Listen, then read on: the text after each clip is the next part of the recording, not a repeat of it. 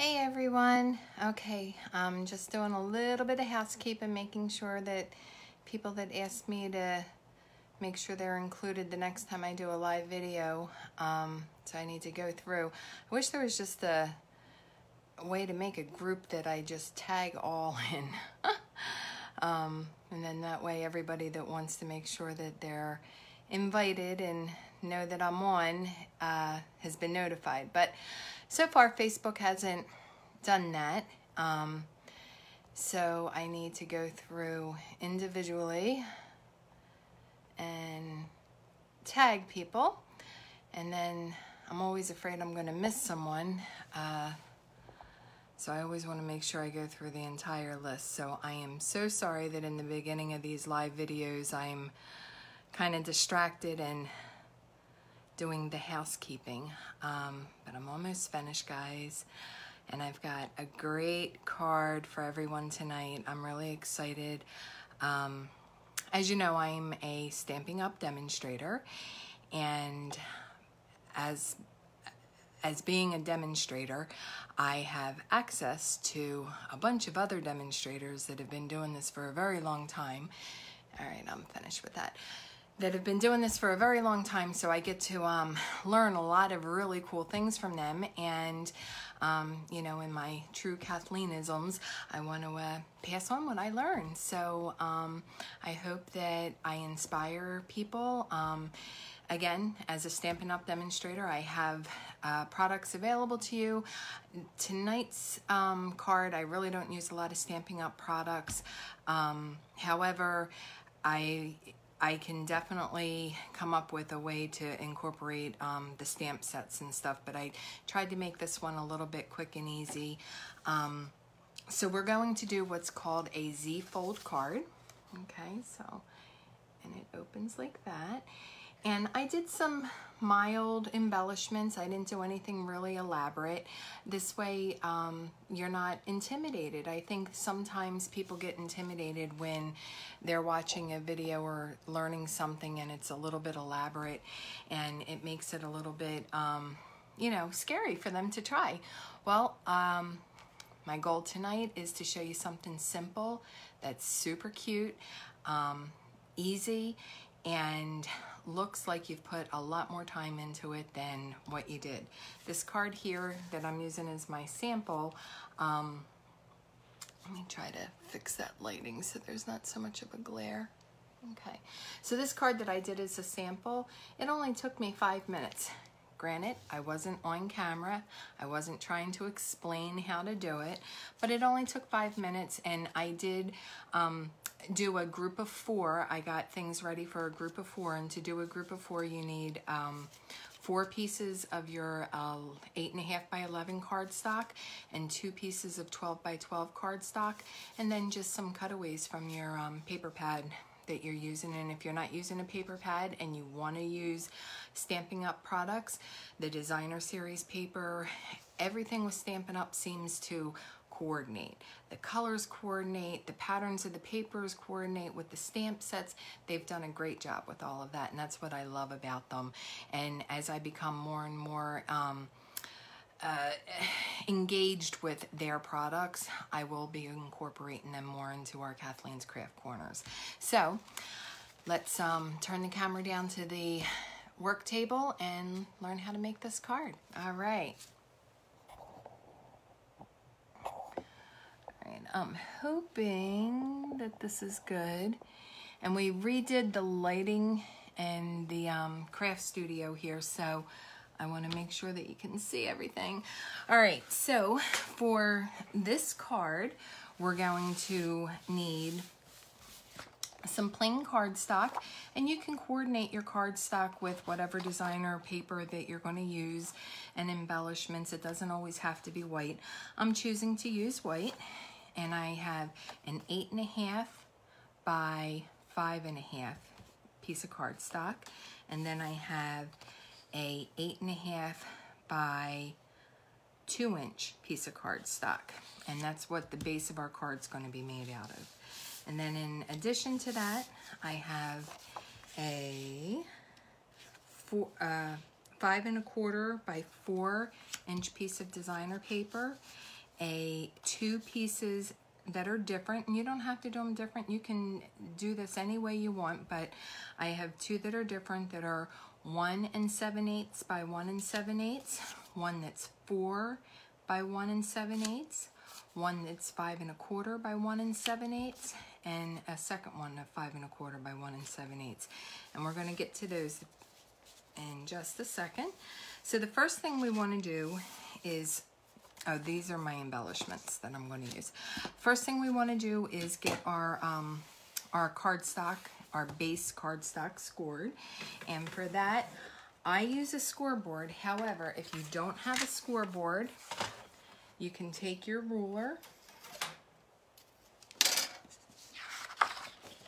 and measure in the first um, the first place that I'm going to score is at two and one eighth. So if you want to do it with a ruler, find the edge of your paper, line it up, and then go to two and one eighths and make three dots and then go align those dots with your ruler so that you have a nice straight line. But if you have a chance to invest in one of these scoreboards, um, I love it. Mine's a Martha Stewart one. Stampin' Up has one. Um, We R Memory Keepers, I believe, also has one and they're not they're they're around twenty dollars ish 20 to 30 dollars depending on what one you have. And i really want to get the stampin' up! one because it has um, little uh, markers up at the top where you can actually put like if you're doing a, a, batch of cards or a batch of any type of project like my bags that I make um, you can put your markers at the places where you're going to do your scoring so you don't have to just rely on your memory and I'm getting old. My memory's not all that good. However, I do remember the marks for this one. So we're going to score our first line at 2 and 1 eighth. Okay. And then our second line at 4 and a quarter. So you'll notice four and a quarter is midway through your eight and a half, and two and one eighth is midway through your four and a quarter. So that's where that um, Z fold's gonna come. And now you're gonna take your eight and a half by two inch piece of cardstock and you're gonna score them in the same place, but then you're gonna flip it around. So you're at two and one eighth and four and a quarter. And this is gonna go this way on your card. All right, so let's get this scoreboard put away because that's all the scoring that we need to do. All right, so we're gonna take our uh, five and a half by eight and a half and we're gonna fold on those scores. So we're gonna fold it that four and one quarter score first. All right, get it aligned, and then I like to take my bone folder and make sure that fold is nice and crisp. Okay, and then our two and one eighth score, we're gonna fold backwards. Okay, get that aligned, and then we're gonna use our bone folder, make sure it's nice and crisp. Okay, so this is the first part of your card. And now we're gonna do the same thing um, with our smaller piece. So you're gonna fold it in half, fold it that four and one fourth line. Make sure we use the bone folder and get that fold nice and crisp. Now, you'll notice that that's on the front and I have the smaller one on the back. It's because you're gonna have this flipped. All right, so, and actually, I need to flip it that way. All right, I remembered the, uh, the right marks, but just the wrong way. All right, so then you've got your um, four and a quarter fold folded, and then you're gonna go back and do your two and one eighth fold. Make sure that you're lining all your edges up because sometimes your score can just be a hair off and that makes everything off. All right, so let's get the bone folder and make that nice and crisp. So essentially what's gonna happen is this will get attached there and that'll get attached there and then it opens like that, see? All right, so before you attach it though, you want to decorate it um, with your designer paper. So what I chose to do, I'm kind of doing a, a, black and white um, uh, series of cards here. One, I'm doing this one on camera with you. I've already done the one sample one, and I'll probably put some extra embellishments on it. I've got some um, some black gems that I can put on it. I'm going to make maybe a gold butterfly, have that flying on there because I like everything to be um, kind of dimensional. And then I'm going to do a cutout and put, stamp a nice little greeting inside the card. So, um, but you can decorate your cards however you want. If you don't want to make embellishments and you want to buy embellishments, there's tons of them out there. If you don't want to do that um, and you just want to do some of your own pictures, I I sell cards at Lisa's Pieces in downtown New Port Richey, and um, I have very uh, three-dimensional type cards that I sell. But there's one lady there that she also sells cards, but they're all hand painted and they're beautiful. So this is one of those um, layouts that whatever you want to embellish it with, whether it's something that you hand paint, um, embellishments that you buy, embellishments that you make, um, you can do tons and tons of stuff with this. But in the end, it just, it's so nice because it, it's such a different card. It doesn't just open up like a book. It, it has this nice fold to it. All right, so I've got my designer paper here and I'm gonna, I'm choosing to use wet glue to lay this down. Some of the people that I've seen do these cards, um, they use double-sided tape. But the reason I like to use the wet glue is because everything that I cut out, I'm trying to get a little eighth of an inch uh, border around it. And with the wet glue, you have just a little bit of wiggle room when you lay it down. When you use your double-sided tape, and I love my double-sided tape, um, you there's no room for error. Once you put it down, that's it. I've been lucky a few times I've been able to uh, get it up, but a lot of people don't like to use the wet glue um, when they're making cards because it tends to buckle the paper and um, I've learned not to use a lot. A little goes a long way. And this wet glue that I use, the um, Art Glitter Glue, man, I tell you, it's got the best results of any other wet glue that I've used. So what I do is just put a nice thin line around the edge and then we're gonna lay that right here and try to center it as best as I can and I think I got it. Okay, and then I use my bone folder to really mash that glue in, let it spread out nice and thin.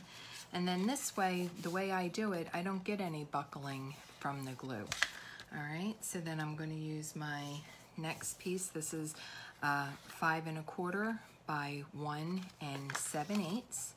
And I do the same thing. I'm gonna put just a nice little thin bead right around the edge.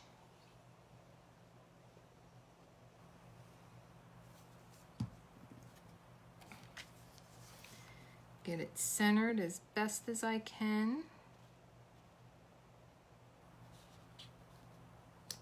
Okay. use my bone folder and really mush that glue in. Funny, when I first started doing uh, paper crafts, I would watch a lot of videos and everybody in the videos, oh, it's so important to do with the bone folder. And I'm like, well, you're just pressing it down. Let me tell you, these bone folders, I don't know how I've lived without them. Um, I use them for everything. I, I open my mail with them. All right, so putting my last piece of five and a quarter by one and seven eighths. Again, nice thin piece of uh, bead of glue. And then we're gonna get that right here. Centered best I can, making sure everything lines up. All right. Looking good. Okay, so that's this piece. And see, that's kind of nice even without having anything. You can just put an embellishment on it, something a little bit different. But we're not stopping there. We're going to get this part covered as well. Now this piece is one and seven eighths by four inches.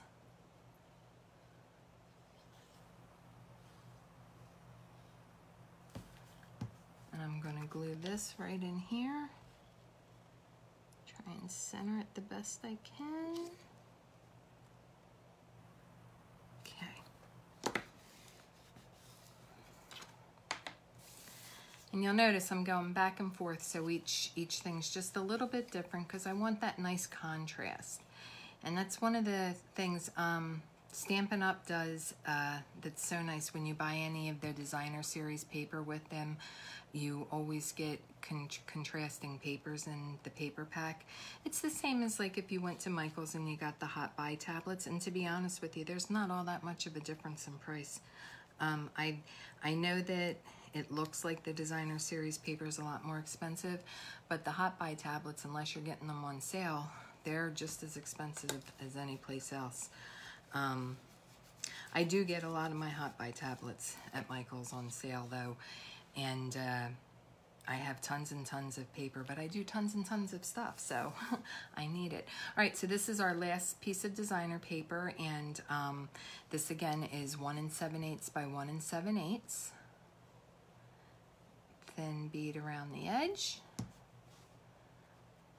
And I think I want that flower going that way on this. All right, get that centered. There we go.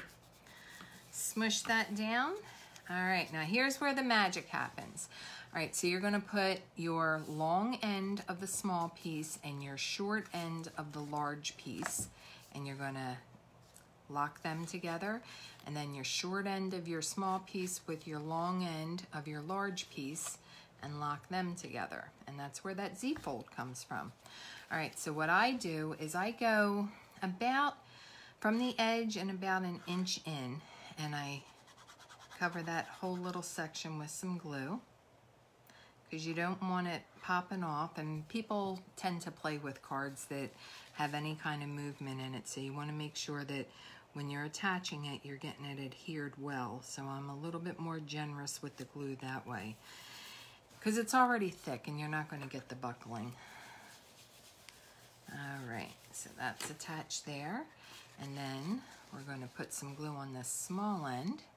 And I do the same thing, just about an inch in. And I fill it in, I'm generous with it. And I attach that to this corner here. Make sure everything's lined up. That's important when you're making cards. You don't want it to look cockeyed or, excuse the expression, half-assed. Make sure everything lines up really nice, okay? All right, and there we go. That's our Z-fold card. Now what I've chosen to do, I've, I've seen people that put some decorations behind here so that they're like pop-ups and I've got some really um, cute ideas that I'm going to do for Christmas with that. But um, what I've chosen to do with some of these cards is I'm trying to, I don't know, I know I've mentioned her name before, but um, Sherry, she goes by the Posh Paper Lady. Um, I get a lot of encouragement from her, a lot of great ideas. And this week she did a whole series on using your cutaways. And these cutaways that we um, have in the paper pads, uh, especially these ones from Michaels or Joann Fabrics or anything, a lot of times they end up getting wasted. But she did a whole series on different things that you can do with them. So I thought, well, I'm going to kind of incorporate that into um, my Z-fold card and I'm going to make my embellishment out of one of the cutaways from the paper pad that I'm using to um, decorate my card with. So I cut a, a piece of um, gold cardstock to put on the back to give it a little bit of decoration. Matches the gold in my card here. And I'm going to, I have my cutaway. It says, be kind be kind. What a message for everybody right now. It's it's a crazy time we're living in, and I just think people need to stop, breathe, and just be nice. Be nice to one another. All right, so we're going to take my Be Kind, and I'm going to glue that to my gold piece.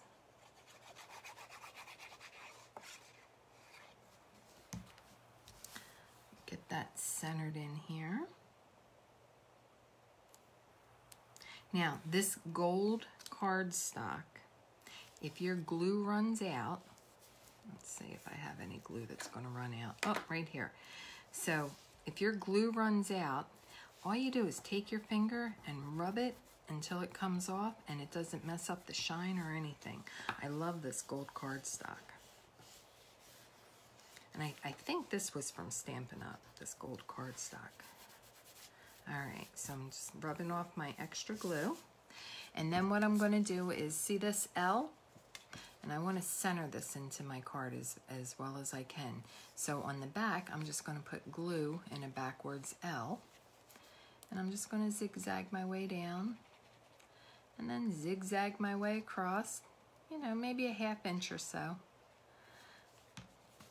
And then I'm gonna take my card, make sure everything's closed up, and I'm gonna center this right in the center of my card. All right. There we go, that looks good. My bone folder, press it down. And there we go. There's our Z-fold card. All right, well, see, it wasn't scary. was a lot of fun. So I want to thank everyone that stopped by and um, watched me make some cards. I hope I inspire you to make some cards. And if you don't feel like making cards, please stop by Lisa's Pieces in downtown New Port Richey. Ask her where the cards for Krafts by Kathleen is, and you can buy some that I've already made. It was great spending my Friday evening with you, and I look forward to seeing you again soon. Bye.